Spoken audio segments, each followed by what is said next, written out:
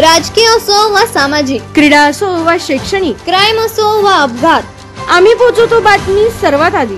म्हणूनच तर अगदी कमी वेळेत एक लाख सबस्क्रायबरचा टप्पा पूर्ण केलेला सातारा जिल्ह्यातील एकमेव न्यूज चॅनल सातारा न्यूज आमदार महेश शिंदे हे कधीपासून भविष्यवक्ते झाले हे कळत नाही असा टोला शशिकांत शिंदे यांनी लगावला असून त्यांनी स्वतःच्या अस्तित्वाची काळजी करावी. त्यांनी आमच्या नेत्यावर बोलू नका असे सांगून तुम्ही काही दिवसानंतर येणाऱ्या निकालात अपात्र ठराल.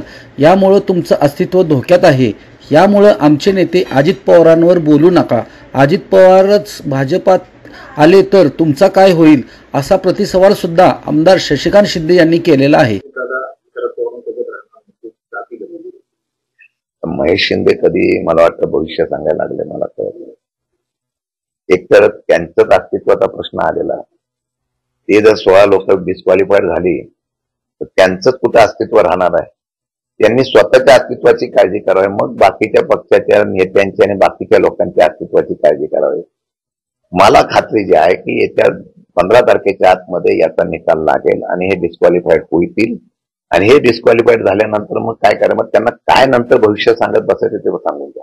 पण आजच्या घडीला अजितदादा जातील हे जातील ते जातील आणि अफवा उठवण्याचा प्रयत्न करा. तुम्ही मग अजितदादा आल्यानंतर तुम्ही काय करणार आहात? तुम्ही तर अजितदादावर प्रचंड टीका करताय. अजितदादावर शरद पवार साहेबांवर टीका करताय. जे होणार नाही त्याच्याबद्दल तुम्ही उठतो आणि आमच्या पक्षाची भूमिका आम्ही मांडून आम्हाला आहे त्यामुळे. त्यामुळे तुम्ही तुमच्या फक्त पहिल्या अस्तित्वाची त्या ठिकाणी काळजी घ्यावी असं मला वाटतं.